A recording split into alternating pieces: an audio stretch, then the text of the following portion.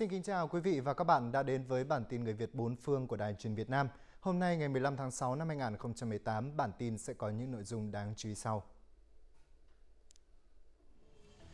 Giáo sư Nguyễn Thanh Liêm đã trở thành bác sĩ Việt Nam đầu tiên nhận giải thưởng Nikkei châu Á trên lĩnh vực khoa học kỹ thuật.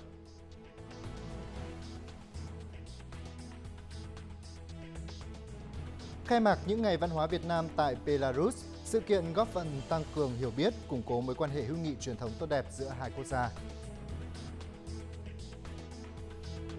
Những điểm mới của cuộc thi Hoa hậu Việt Nam 2018 năm nay cũng sẽ đánh dấu tròn 30 năm cuộc thi tìm kiếm sắc đẹp lớn nhất Việt Nam được tổ chức.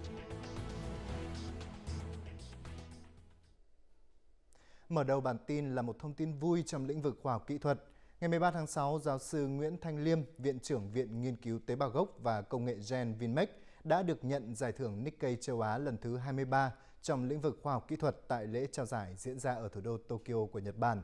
Với sự ghi nhận này, giáo sư Nguyễn Thanh Liêm đã trở thành bác sĩ đầu tiên của Việt Nam được vinh danh ở lĩnh vực khoa học kỹ thuật trong 23 năm từ khi có giải thưởng. Tờ Nikkei nhận định giáo sư Nguyễn Thanh Liêm đã có những đóng góp to lớn và sáng tạo trong việc tiến hành các ca phẫu thuật nội soi trên trẻ em, cũng như đưa những kỹ thuật công nghệ tiên tiến vào phương pháp điều trị cho trẻ em tại Việt Nam. Trước đó, Việt Nam đã có 5 cá nhân được trao giải thưởng Nikkei trong các lĩnh vực kinh tế và văn hóa. Giải thưởng Nikkei châu Á là giải thưởng thường niên nhằm vinh danh những người có thành tựu xuất sắc trong ba lĩnh vực kinh tế, khoa học và văn hóa. Giải thưởng được tổ chức lần đầu tiên vào năm 1996.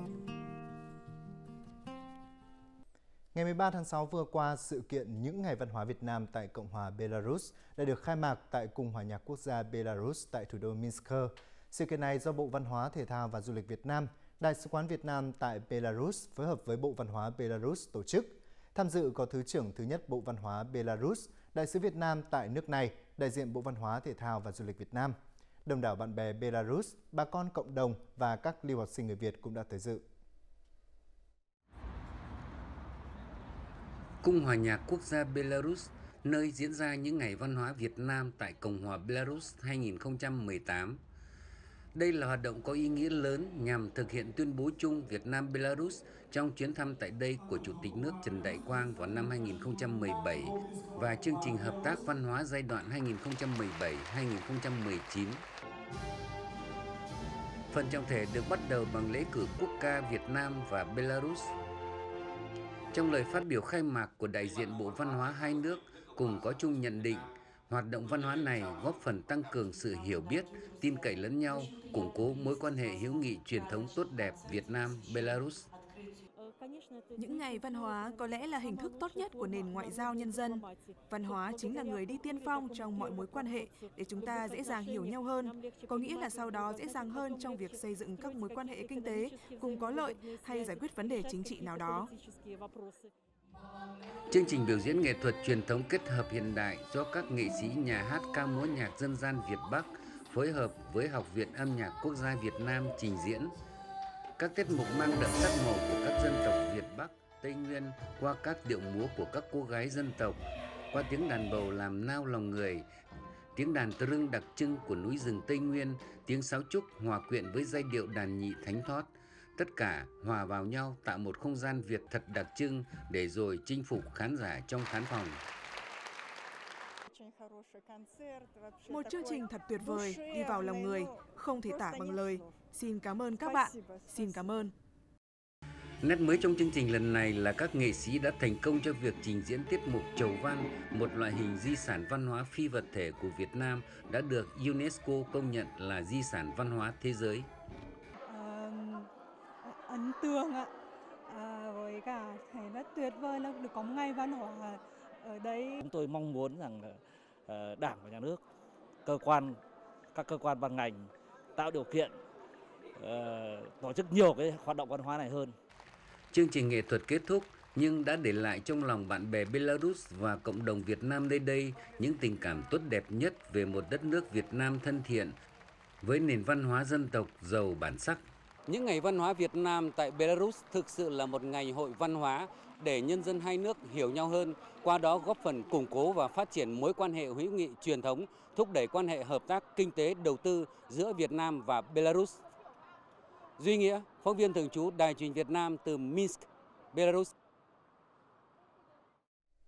Còn tại Cộng hòa Séc, cộng đồng người Việt Nam tại tỉnh Bắc Morava, Ostrava cũng vừa tham gia lễ hội các dân tộc thiểu số của nước này. Lễ hội năm nay được tổ chức nhân kỷ niệm 750 năm ngày thành lập thành phố Kavina với các chương trình ca múa nhạc đặc sắc của các dân tộc Ba Lan, Hy Lạp, Hungary, Slovakia và Việt Nam.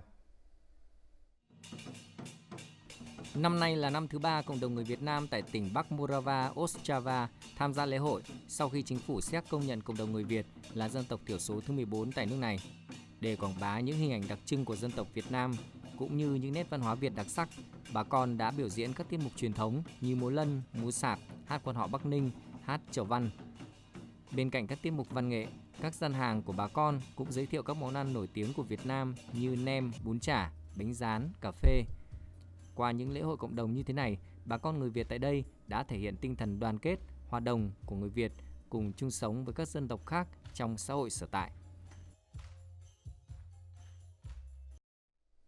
Vừa qua tại thành phố Bitterfeld, bang Sachsen, Cộng hòa Liên bang Đức, Ban liên lạc đội Liên hiệp Than Nâu đã tổ chức buổi gặp mặt nhân dịp kỷ niệm 30 năm ngày đội Liên hiệp Than Nâu sang Đức theo chương trình hợp tác lao động giữa Việt Nam và Cộng hòa Dân chủ Đức. Tham dự lễ kỷ niệm có đại diện của Hội Người Việt tại Bitterfeld và thành viên của đội hợp tác lao động tới Đức năm 1988. Năm 1988, thực hiện chương trình hợp tác lao động giữa Việt Nam và Cộng hòa Dân chủ Đức, Việt Nam đã cử nhiều thế hệ cán bộ, công nhân viên tới Đức làm việc. Tại buổi gặp mặt, bà Roswitha Smith, người phụ trách lao động Việt Nam của nhà máy trước kia, đã xúc động nhắc lại những kỷ niệm đầu tiên khi anh chị em đặt chân đến Đức. Bà cũng khẳng định những lao động người Việt đã đóng góp sức trẻ và nghị lực của mình vào sự phồn vinh của xí nghiệp này. Còn với những thành viên của đội than nâu năm nào, dịp gặp mặt này là điều mà họ đã mong mỏi từ nhiều năm qua. Tôi thấy cuộc sống như là cũng nói chung là có nhiều vất vả, nhưng tình yêu với ờ,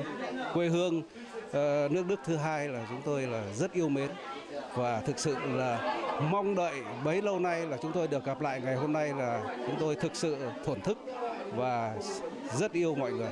cảm thấy vấn khởi bao nhiêu năm tháng ấy mỗi một người có một công việc có một cái gia đình có một hoàn cảnh một một một cuộc sống khác nhau nhưng rồi vẫn tụ tụ họp lại đến ngày hôm nay để mà mà mà được ừ, nhìn thấy và được nói những cái câu chuyện để ôn lại những kỷ niệm tôi thấy rất là xúc động.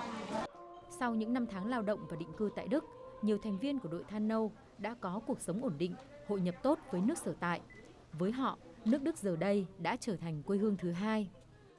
Chúng tôi rất là cảm ơn với trước hết là ngày xưa là cảm nước Cộng hòa xã hội chủ nghĩa Việt Nam đã đưa những người con sang sang Đức. Về nay cũng cảm ơn những cái à, nhà nước Đức đã cho phép chúng tôi ở lại và tạo dựng cuộc sống cho mọi người đây. Có nhiều gia đình đã thành đạt và con cái học tập trưởng thành và có những công việc làm ổn định thì cái điều đó rất là đáng quý. Buổi gặp mặt là khoảng thời gian đầy ý nghĩa để các thành viên trong hội ôn lại kỷ niệm về những ngày tháng khó khăn, cùng nỗ lực vươn lên trong những ngày đầu đặt chân tới nước Đức. Ngày 9 tháng 6 vừa qua tại khuôn viên trường đại học Amsterdam, Hà Lan, Hội sinh viên Việt Nam tại Hà Lan đã tổ chức sự kiện hướng nghiệp mang tên Career Talk năm 2018. Tham gia sự kiện có sự góp mặt của 10 diễn giả dày dặn kinh nghiệm tới các lĩnh vực khác nhau như IT, kinh doanh, tài chính kế toán, marketing cùng với sự tham dự của 50 sinh viên Việt Nam. Sự kiện Career Talk nhằm giúp các sinh viên Việt Nam tại Hà Lan sau khi tốt nghiệp có định hướng rõ ràng hơn cho tương lai. Tại đây, các diễn giả đã chia sẻ kinh nghiệm làm việc tại Việt Nam, Hà Lan và một số quốc gia khác như Singapore, Mỹ, cũng như làm sao để hòa nhập với môi trường làm việc, những vấn đề về thu hút chất xám tại các quốc gia. Qua trò chơi tương tác là trải nghiệm một buổi phỏng vấn, các diễn giả đã trực tiếp góp ý cho các sinh viên mới ra trường cách thức gây ấn tượng đối với nhà tuyển dụng. Thành công của sự kiện hướng nghiệp Career Talk năm nay được kỳ vọng sẽ là tiền đề để Hội Sinh viên Việt Nam tại Hà Lan tổ chức sự kiện này thường niên trong thời gian tới.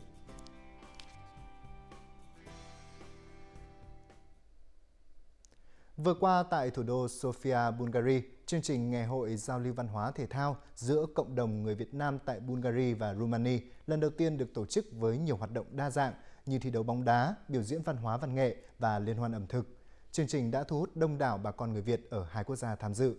Trong không khí giao lưu sôi nổi, Đại sứ Việt Nam tại Bulgaria Nguyễn Thị Hồng Oanh và Đại sứ Việt Nam tại Romania Trần Thành Công đã hoan nghênh sáng kiến tổ chức chương trình giao lưu giữa hai cộng đồng, góp phần tăng cường kết nối, hiểu biết và nâng cao tinh thần đoàn kết dân tộc. Hai đại sứ nhấn mạnh, chương trình giao lưu lần này đã tạo điều kiện thuận lợi để bà con gặp gỡ, chia sẻ và tìm kiếm cơ hội hợp tác kinh doanh cũng như hội nhập và phát triển. Đồng thời, hai đại sứ cũng bày tỏ mong muốn cộng đồng người Việt sẽ tiếp tục phát huy truyền thống, giữ gìn bản sắc văn hóa dân tộc và luôn hướng về xây dựng quê hương đất nước. Chuyển sang các tin tức văn hóa trong nước. Thưa quý vị, lần đầu tiên có đến 3 hoa hậu cùng ngồi ghế nóng ban giám khảo tại cuộc thi Hoa hậu Việt Nam. Đó là một trong những điểm mới ở lần tổ chức năm nay của cuộc thi này. 2018 cũng là năm đánh dấu hành trình 30 năm cuộc thi Hoa hậu Việt Nam tìm kiếm và tôn vinh những nhan sắc Việt cùng trái tim nhân ái và những hoạt động có tầm ảnh hưởng đến cộng đồng.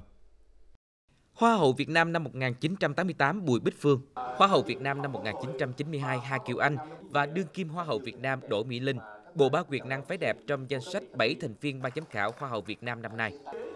Kết thúc tour tuyển sinh trong một tháng, đi qua 14 trường đại học lớn cả nước, hơn 10.000 sinh viên tham dự, top 30 người đẹp của vòng chung khảo phía Nam Hoa hậu Việt Nam năm 2018 đã lộ diện. Mỹ Linh cũng có những cái điều rất là thú vị, những cái kiến thức của cái cô gái năng nổ và nhiệt huyết của cái giới trẻ đó để cho mình học hỏi theo, mà nhất là về sắc đẹp.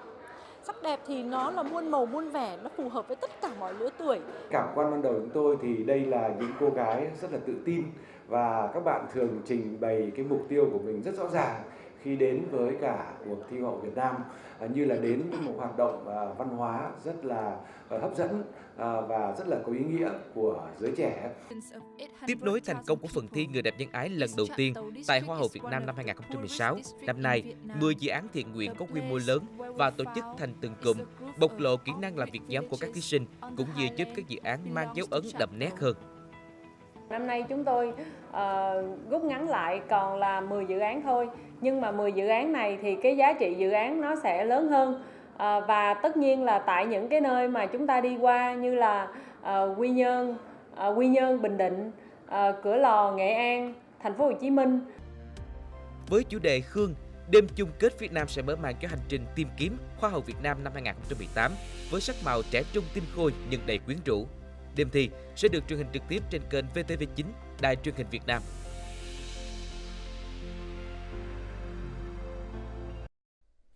Thông tin đương kim Hoa hậu Việt Nam Đỗ Mỹ Linh sẽ là một thành viên trong hội đồng ban giám khảo của Hoa hậu Việt Nam 2018 đã gây ra nhiều tranh cãi bởi nhiều người cho rằng cô còn quá trẻ để cầm cân nảy mực tại cuộc thi nhan sắc lâu đời nhất của quốc gia. Thế nhưng sự tươi mới, trẻ trung là điều luôn cần thiết để chọn lựa bất cứ sắc đẹp nào. Và xin mời quý vị hãy cùng lắng nghe những chia sẻ của Đỗ Mỹ Linh trong vai trò đặc biệt này.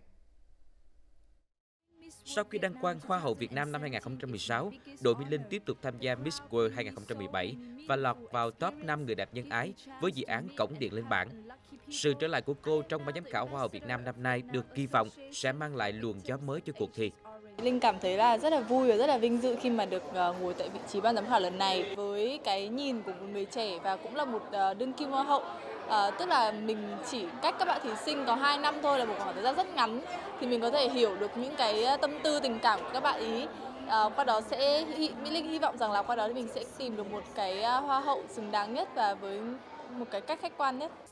Đỗ Mỹ Linh cũng là đại sứ hình ảnh cho nhiều chương trình thiện nguyện giúp trao học bổng và chăm lo đời sống cho các hoàn cảnh khó khăn, nhất là trẻ em mồ côi cơ nhở. Đó cũng là mục tiêu lớn mà mỗi kỳ Hoa hậu Việt Nam đều hướng tới, sắc đẹp đồng hành cùng trái tim nhân ái. Nói về tuổi đời thì Mỹ Linh cũng còn rất là trẻ, trẻ nhất trong tất cả các thành viên ban giám khảo. Nhưng mà ngược lại thì Mỹ Linh lại có một cái um, sự nhiệt huyết, sự năng động của một cô gái trẻ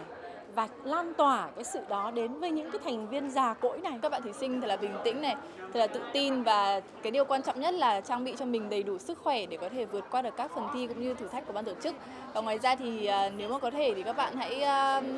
tập trung cho cuộc thi nhiều nhất. Uh, tránh sử dụng mạng xã hội vì à, khi mà các bạn tham gia cuộc thi thì sẽ có rất là nhiều những cái luồng ý kiến làm cho các bạn bị phân tâm. Linh xin chúc tất cả các bạn thí sinh sẽ à, bình tĩnh, tự tin và sẽ vượt qua tất cả các phòng thi của cuộc thi ở Việt Nam và sẽ à, trở thành chủ nhân của chiếc vương miện hội Việt Nam năm 2018. Và thông tin vừa rồi cũng đã khép lại bản tin Người Việt bốn phương của chúng tôi ngày hôm nay. Quý vị và các bạn có thể xem lại chương trình này trên website vtv4.vn hoặc trên kênh YouTube VTV4Go. Xin cảm ơn và kính chào tạm biệt.